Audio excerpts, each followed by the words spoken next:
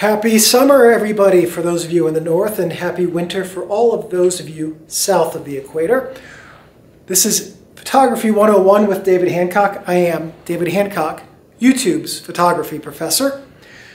For those of you following along with this series, uh, this is the seventh assignment out of 12, where we are now in the back 40, back nine.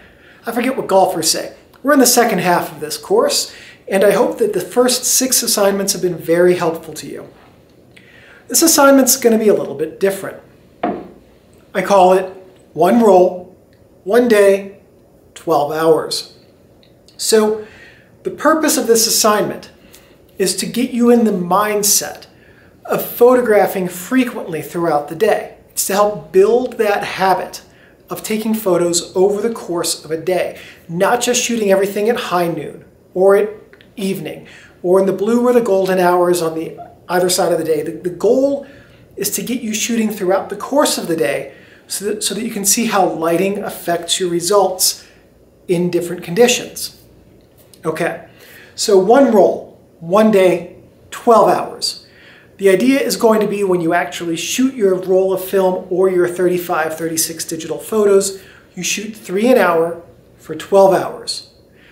Doesn't have to be every 20 minutes like clockwork, but you do want to try to spread out that whole roll of film over the course of the day as evenly as time permits. So for the next two weeks, what you're going to do is figure out what day you're going to do this assignment and where you're going to do it. So if you want to do it on a weekend when you have a little bit more flexibility, are you going to start at 9 a.m. and go till 9 p.m. or 4 a.m. and go to 4 p.m.? Something like that. Whatever fits your schedule, you want to work this assignment in around it. So you have two weeks to figure out the day you're going to execute the assignment. At the end of it, hopefully you will have products that show you how your work is affected by the different times of day.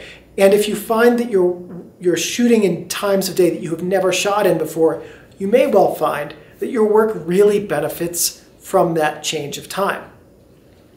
I'll see you again in two weeks. Oh, hi, Steinbeck. You finally decided. After six months, my puppy has finally decided to join a video. Good boy. I'll see you again in two weeks, and I'll follow up with your progress then. Have a good two weeks, everybody. Yes.